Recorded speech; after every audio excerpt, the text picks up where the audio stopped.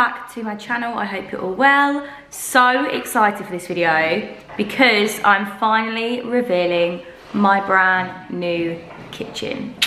So excited, honestly. Like, I've been wanting to show you this for so long, but it's not quite been finished until about two weeks ago.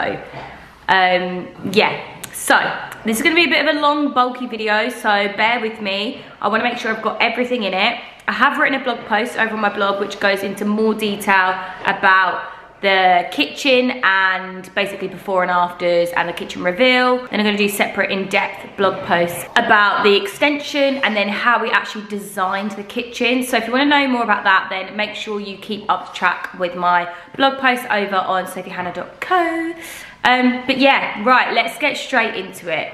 I'm gonna be putting in little video clips and photos from the last sort of six months of when we've been renovating. I've tried to film and take photos as much as I could over the time period. So then, because I knew I was gonna film this video for you guys and show you. So, let's go back to the start, the kitchen before. So, when we bought this house, the kitchen was very, very small.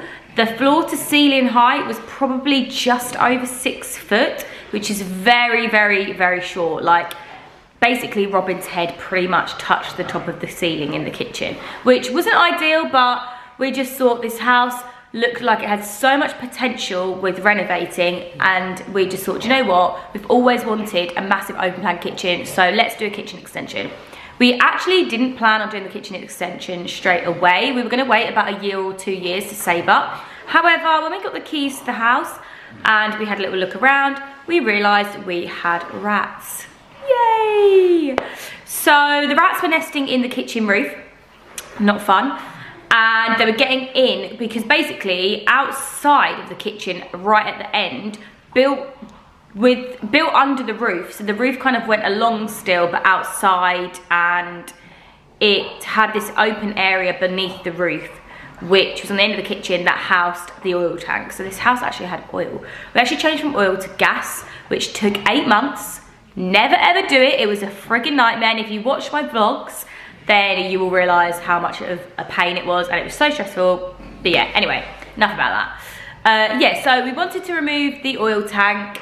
And because that's basically where the rats were coming in. So we realised we had to basically do the kitchen extension straight away. So we had to get planning permission. That took about four months. We had an architect come round, draw up designs. I chatted to him about what I wanted. We worked together. Um, but obviously I'm gonna go into more detail about that in my blog post. Um, but yeah, so it took us it took about four months to get planning permission. We got planning permission February, March. And then we managed to find a builder and he was available in May and June, which was amazing because we were like, this is perfect. These are the months that we wanted the kitchen to be done, so then we could actually move in after summer.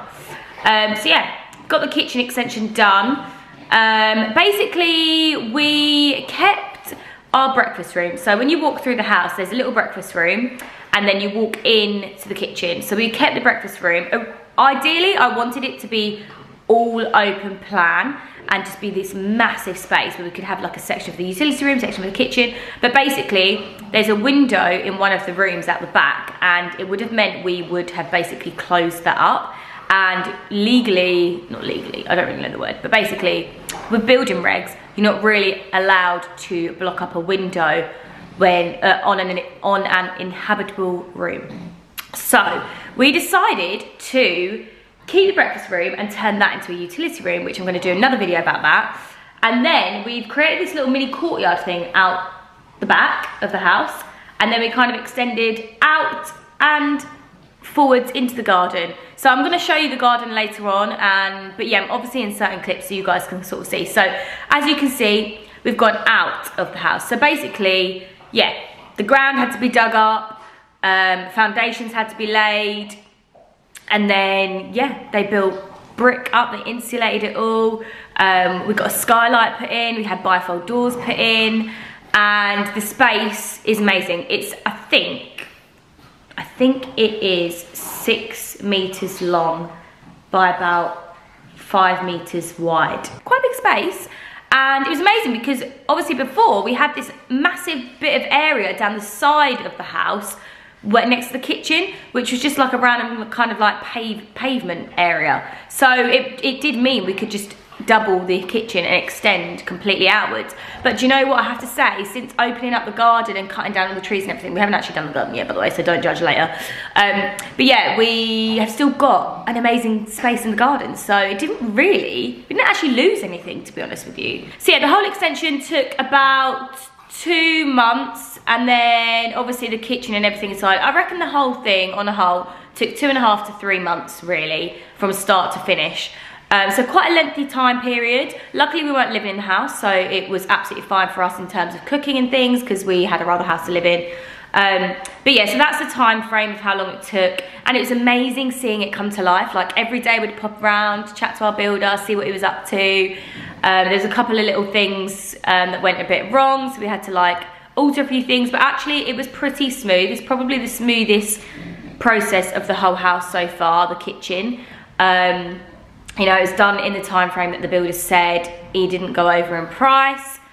And he even, every time we came back, we'd be like, oh, we really want to do this. And he was like, well, I'll do it for you. Like, I've got spare time. So we were like, oh my God, amazing. So he actually ended up patioing the garden area in front of the bifold doors and kitchen. Around the edge of the kitchen, because we've got a little alleyway. And in the courtyard out the back, he put a new fence up for us. He put a garden gate up for us so we could lock the dogs in and keep them in the garden. So yeah, he actually did quite a little bit more than he was meant to. Obviously we paid him. Um, but yeah, so we ended up staying a little bit longer and moving a few jobs around, but it was so helpful to us. So we're so grateful for him and I would honestly highly recommend him. It was so good, such a nice guy. And he worked with us and kind of did everything that we wanted and kind of made our visions come to life. So once the extension was actually up and the building was up and it was being plastered and boarded and the electrics were put in and everything, we popped to Howdens. Now our builder has a trade account with Howdens and you have to have someone that's got a trade account to be able to get a kitchen from there. So we went with Howdens. I looked at DIY kitchens online and they looked really good. You could basically have any colour you wanted, like they would bespoke paint them for you. But it looked confusing because you basically had to design the kitchen on there, get the measurements exactly right, order everything. And I just feel like you need a builder to sit with you and design it on there and order everything. And like, no one's got that much time to, to dedicate to that. So we went with Howdens and we had all our architect's drawings that we gave to the designer at Howdens. We sat down, we spoke about what we wanted, we went into their showroom, looked at all their cupboard doors, their handles, everything. And we decided to go with their Fairford charcoal kitchen. Basically, it was really hard actually making a final decision. Like I, I really, really wanted a deep, like dark green kitchen originally, but I don't know, and, and, and, actually I even wanted navy, but everyone started getting navy and I was like, oh, I just didn't know. But then I fell in love with House of Scottons on Instagram, her kitchen, and it was beautiful. It was like the wallpaper that I had dreamed of.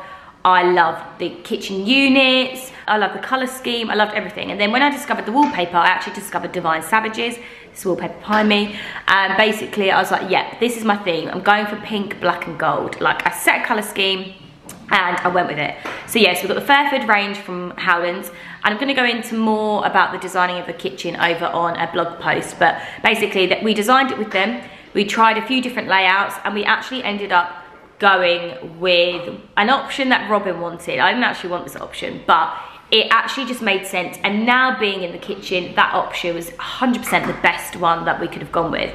Because originally I wanted the kitchen to be on one whole wall, which is what we've got now, and you'll see that in a bit.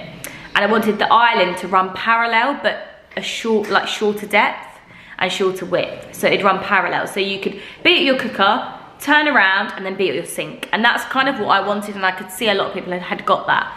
But it just wasn't feasible for us because it would have meant that we wouldn't have been able to fit a table in comfortably in the room.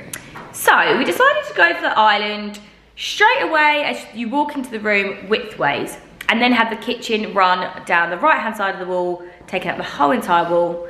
And then it meant that the table could go in front of the island and we've got so much space in here for activities, like it's perfect. So that's the design we went for.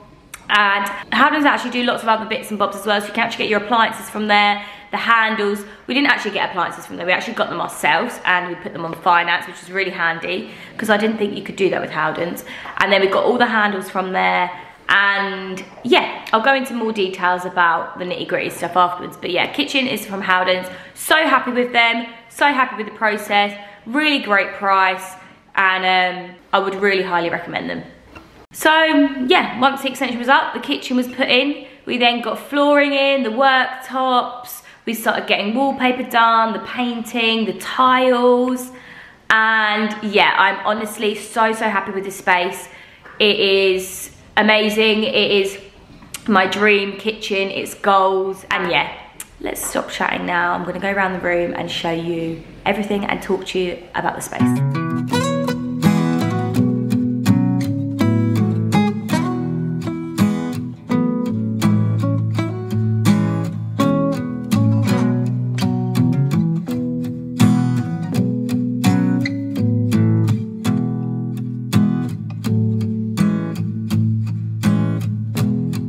As you walk into the kitchen from my utility room, this is how the space looks. Ooh, so excited to show you. Straight away, you've got our island. Love this island. It's such a nice little space. We've got these amazing worktops from Caesarstone. Let me go in close and show you. See the reflection of our skylight there. These are our worktops. So these are from Caesarstone. They are quartz worktops. They are a nice kind of like shiny material. And yeah, I love them. They are basically white, but then it's got this amazing detailing in it. So it's kind of like marbling, but not. And um, yeah, I, I just love our worktops. I love like cleaning them like all the time. Um, but yeah, I love it. They're not the same. It's not symmetrical. It's just a bit random. And I just love it because it's got this dark detailing where it kind of just complements the dark cabinets really, really well. Like, I love it. I'm so glad we went for this kind of colour. Originally, I wanted to go for black worktops, which, to be honest with you, probably would have looked cool, but apparently they're very hard to clean because you can see a lot of like smears in them. And also I feel like it would have made the kitchen look a little bit darker than what it is. And I thought it was nice because we were going to have the white ceiling to kind of complement it with the white worktops um, but yeah so I'll put a link below. Caesarstone actually kindly gave me a little bit of a discount so thank you so much. It's been amazing to work with some honestly unreal brands doing my kitchen. I paid for the extension and the kitchen and to be honest I paid for the majority of it. I had probably through mm, maybe five companies either gift me or give me a little bit of a discount um, which is amazing. So super grateful for that. Or I got stuff on finance because finance is amazing when you're doing renovations. Um, yeah, so island, let's get back to it. So yeah, the worktops are quartz. The reason we went for quartz was because they are durable, they are long lasting, it's a great material for worktops. They are expensive, but it lasts and it looks amazing. They are really simple to clean actually. However, they do stain easily and you shouldn't really apply too much heat. So we have actually got, which I'll show you later, these glass kind of like placemat things on the worktops. And they even gave us a free um, chopping board heat plate thing which is the same as the worktop so it's the same material obviously it's scratched and stuff but you can see that if you did apply heat to the worktop, that's what it would look like. But they give it to you because it just looks nice on your work surface to kind of blend in with the worktop. Um, but yeah, that's the island.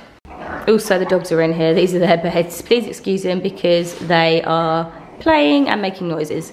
Right, island, butler sink. I always wanted a butler sink. I think it looks amazing. I love it. It's kind of in line with the house uh, being Victorian. And yeah, it just makes such a statement when you walk in. And I love the fact that you can stand here, washing up, doing bits and bobs, and you just look out onto this most amazing kitchen and then onto the garden which we will be doing eventually um, and making it look pretty but yeah so I love this I just love the way it looks in here we've actually got the bins so when you pull it out I'm not going to show you because bins are gross but there's three bins so we can do our recycling the food bin and then just general waste underneath the sink here we have, I'm gonna show you, it's a little bit dark actually. A bit of a messy cupboard, but we keep all of our cleaning products in there for the kitchen and bin bags and stuff. And then in this one, we've got a built-in dishwasher, which is so nice. Got a really good deal on this as it was the last one on show in Hughes Electricals. But I love it because it's got a cutlery drawer thing at the top and it's all stainless steel so it's really long lasting. Um, but yeah, so we've kind of got in the island all of our cleaning things. So like bins for recycling, dishwasher for cleaning, sink for cleaning, cleaning products it's kind of just like our cleaning place. Also at the island, we have a little bar area. So we've got these amazing bar stools gifted from Cult Furniture. Absolutely love these. I wasn't sure whether I was gonna go for black or pink, but I went for this amazing black velvet and I really love the button detailing on the back and the brass and black legs. Like it just works and it just makes it look really chic. We got the worktop to hang over, I can't remember by how much. Also, it is a three, uh, 300 millimeter depth the worktop, just so you know, um, if you're interested. Um, yeah, we got it to overhang a little bit just so we could tuck the bar stools under slightly. And it's just a nice little breakfast bar area if you want a cup of tea. Moving on to the tap. This is from Taps for Less. Love this. It was only £150. Gold taps are so hard to find and also they're so expensive. But yeah, love this one and um, also got the matching gold plug as well obviously. Everything is gold in here. Silver is banned. Another thing we've got as well is these brass plug sockets and light switches. There's the light switch. The this one was actually made for us because of the different switches but we actually got these from Screwfix. Um, really good price and yeah I love them Onto the wallpaper. This wallpaper is from Divine Savages. I love it. I love the colour. I love the design. Um, yeah, got my guy to hang it and he's hung it so well. And then we went for a black skirting board just to kind of break it up a little bit. And then the radiators are from Best Heating. Love these. So we actually got two of them. Ooh, the ones over there. Um, and we put them vertically because why not? I think it looks cool. It also breaks up this massive long wall of wallpaper and um, we even got gold valves at the bottom there if you can see. I really want to spray paint the copper pipes. Um, but yeah, got gold valves and I love these because you can see the wallpaper through the radiator and they keep in with the kind of like modern Victorian vibe that's going on. Let's move on to the actual kitchen units now. So they go down the whole length of the right hand side of the room. In the first two, we have got the built-in fridge freezer. So we haven't actually got much food in there at the moment. Um, but yeah, fridge and freezer. And then in here, which I tried to organise the other day, there we go, the lighting's a bit better now. So in this cupboard, that's just a bit of a random shelf. I need to kind of sort it out. But we've got alcohol, we've got our plastic bags at the top for food shopping. And yeah, and then in this bottom one, again, I need really need to sort it out. It's kind of just a bit messy at the moment. But it's a nice, massive larder cupboard. I want to get some like little boxes and things to put in there and so I can stack stuff. I don't really know what that's for, to be honest. It's just a bit of a random cupboard at the moment. But yeah, moving on. We've got the drawer space either side of the oven. So in this side, I love these. So when you open them up, we've got all our pots and pans at the top, and then there's a secret drawer, which is cutlery. Well, not cutlery, it's all like the knives and like the kitchen utensils, that's it. And then the bottom one houses our saucepans. Bit messy, but.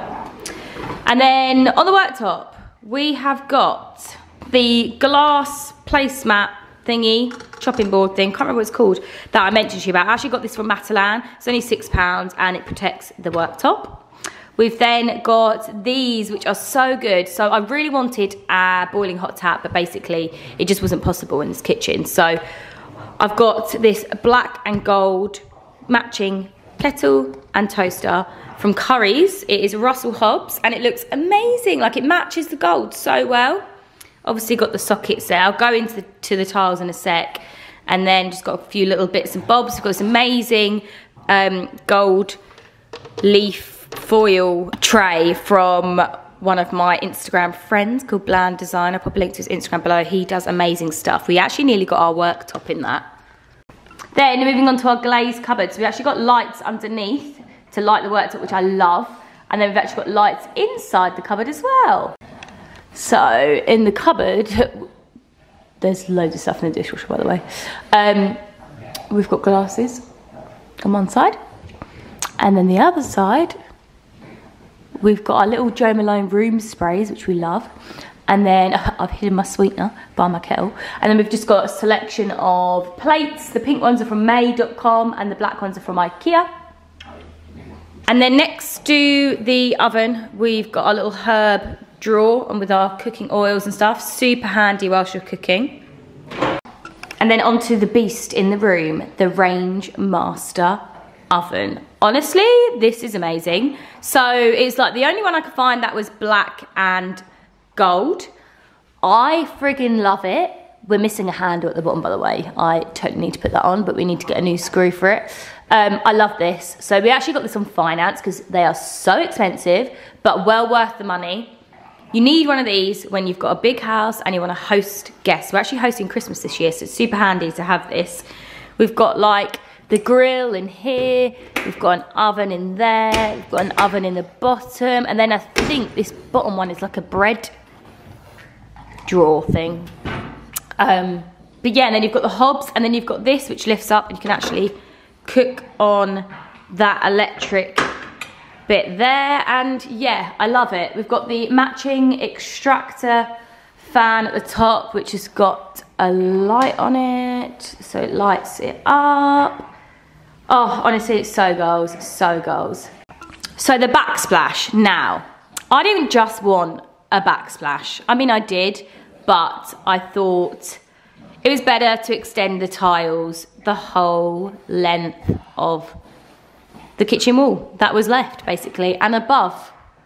So we've gone, um, we didn't do above the uh, cupboards because you can't really see it, to be honest. But yes, yeah, so we went right above the extractor fan and all around underneath the top cupboards and above the worktops. And I just think it looks amazing. It's so symmetrical. I love it. And I love these tiles. They match the wallpaper so well. These are actually from Best Tile. They're the Artisan Mallow Rose. Um, I love the fact that they're all different. Like these ones are light and that one's a bit dark. Like it looks really cool. And I got them applied in this kind of parquet effect because I thought it kind of just makes it more of a feature um, and it looks amazing like with the wallpaper and stuff. Like it just works so, so well. So I'm really pleased with that. Going to this pull-out drawer now, next to the oven the other side, we've got oven gloves. We've got these from Ikea, which are really handy. So obviously, again, protecting the worktops. And then we did have some chopping boards in there, but I don't know where they are. Robin keeps putting stuff in different drawers. Then we've got these amazing gold knives from HomeSense. I friggin' love HomeSense. And also look at the terrazzo base, so on trend. And then this is the hot plate worktop protector thing that I was telling you about. Um, so it's nice that it kind of works with the worktop and matches. And then we've got another glass placemat thing, little plant, little book, and then more glazed cupboards. So in this side, we've got plates, bowls and mugs from Asda. This is my favourite plate collection from Asda. How unreal. So cheap as well. And it looks so cute. Then this side we've got posh glasses and posh a posh candle from Fornasetti. I collect Fornasetti. I love that stuff. And then the Fornasetti teapot at the top. And um, yeah, and then some little Seletti bits I got gifted for Christmas once, as in like a present, not gifted by a brand. Um, yeah, love it. Then onto these drawers. In this one we've got more plates and bowls. Um, and then like little serving dishes for like sauces and stuff. And another hidden drawer, which has got our cutlery in. Obviously, we've got gold cutlery. And we've got black cutlery. The gold cutlery, oh my god, I think it's from HomeSense. And the black is from Ikea. Um, and then we've got some extra knives in here just for this side of the kitchen if we're on that side. Serving bits and bobs. And then the drawer below, we've got like chopping boards, baking trays, um, mixing bowls, NutriBullet, cling film like and bits and bobs in there. Now on to the final chunk of the kitchen unit. So as you can see, the two end ones kind of match but not match. So that end, obviously we've got the fridge and stuff, and then this end we've got a, quite a few different cupboards and drawers actually.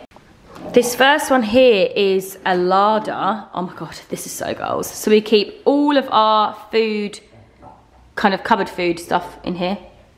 Um, yeah. And then we've actually got another one this side where we keep more of our cupboard food. A little bit of crunch in it, it's gluten free. Then we've got the most amazing built-in microwave. I spent so long looking for this because I wanted a black and gold one, um, but I found this one and it was on offer it is from Klarstein and um, yeah, I really, really love it. Fits in so well and it's kind of like vintagey looking. Um, and then above we have got, um, let me just lighten this up. Whoa, here we go.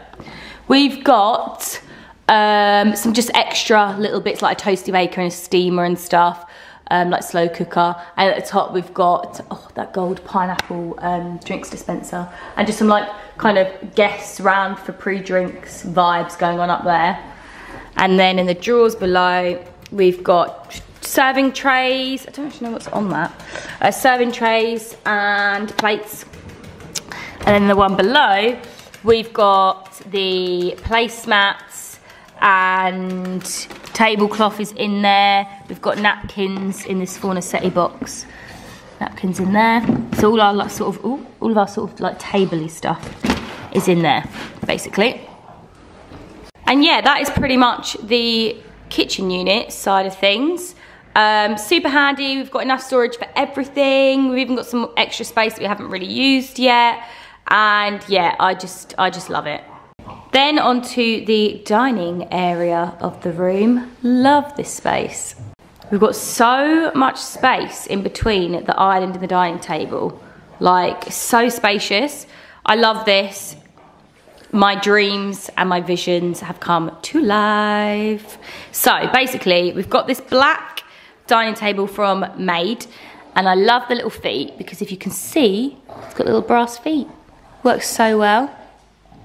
Then we've got this dining bench OBS in brass from made.com as well. So those two are actually kindly gifted to me, which was amazing because obviously a table like that is very expensive and that really, really helped me out. Um, so yes, yeah, so we've got the gold bench to match and then I've got these really cute charcoal velvet seat cushions from H&M Home. Love this. This is actually a new addition. We got this from Peau de Vache, I think that's how you pronounce it. It's basically a vinyl um, rug. Like, it's literally just a bit of plastic. Um, but I love the zebra print. It really works with the room.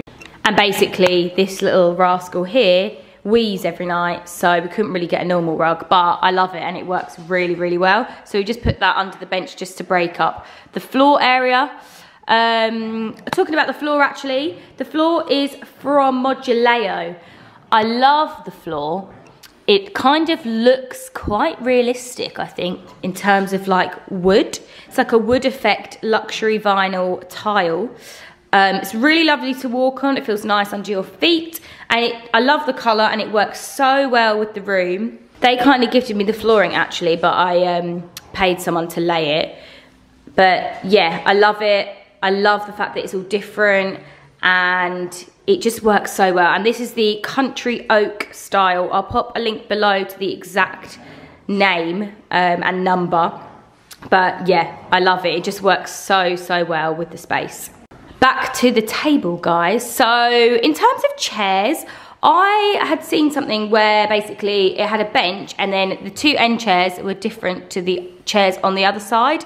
And I really liked that and I thought it was another way of tying in all the colours, within the colour scheme of this room. So I went for these amazing pink velvet chairs with brass legs, obviously, from CK Living. And um, they weren't too badly priced, actually. And I really like the fact that they're kind of like proper big um, chairs at the end with the arms, like statement chairs. And then, so I've got them either side. And then here we go, we've got, um, and then here we've got So I've got them either end. And then here we've got three faux leather chairs from Cult Furniture. Um, they weren't too badly priced actually. And I love the kind of quilted detailing on the back. It sort of complements the bar stools. And I wanted to go for faux leather just to break up the velvet and add a different texture into the room and fabric. Um, but yeah, really, really like these. They're super comfy and they've got gold legs, which is so fab. And then here we've got a little mini feature, which I love. So I've got some candlestick holders from H&M Home, some gold vases from Made, these kind of gold leafy things from Zara, and then the fish glugging jug is from Frippery, a little local shop in Colchester, and then I've got some dried flowers, and that's kind of like my main centerpiece on the table just every day, which I love. I don't know whether you can see, but we've got this extra insert in the table here. Um, the table actually extends, so it extends from an 8-seater to a 12-seater. We've actually got it extended kind of halfway, just so it's a bit more spacious with the chairs the other side, and because we've got the space so it, it, does fit, it works really well. I've got a nice gap either side. Um, but yeah, it extends, which is really, really handy. Sorry guys, I know this is a lengthy video, but I do think you are gonna be so excited about watching this and you wanna see all the deets. So um, on to the skylight. This is a skylight above. I love it. It is huge. It lets so much light into the kitchen and it's right in the center of the room and I love it looks so friggin' cool. Then we've got this little window. Now this was a little idea that I had because um, originally we were going to have the kitchen island obviously like here. So I thought that would have been cool to be like in the walkway of like between the main kitchen and the island.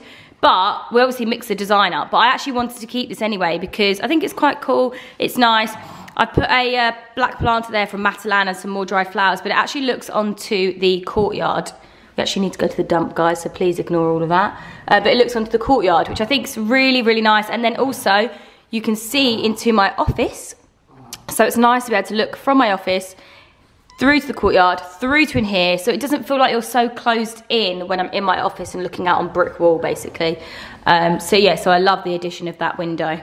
And then the bifold doors so goals.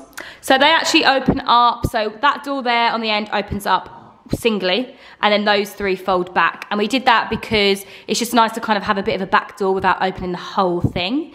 Um, so it's handy like for the dogs and stuff going out into the garden.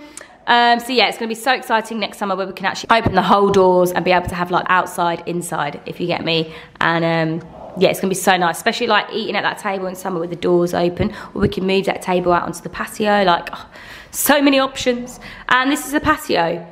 And then we've got the stairs going up into the main garden. Uh, garden obviously needs a lot of work, but yeah, that's the patio area. Onto lighting, so we've got this lighting above the dining table. Got that from wayfair.com I think, but I like it because it just dangles over the dining table, makes a bit of a feature. And then we've got gold spotlights in the ceiling. Um, I can't remember where I got those from, but I'll try and find out. I think they were from Screwfix. If you just Google um, gold spotlights, loads come up. So I've got those in the ceiling. Then obviously we've got those lights there. And that's all the lighting that we have in here and it is enough.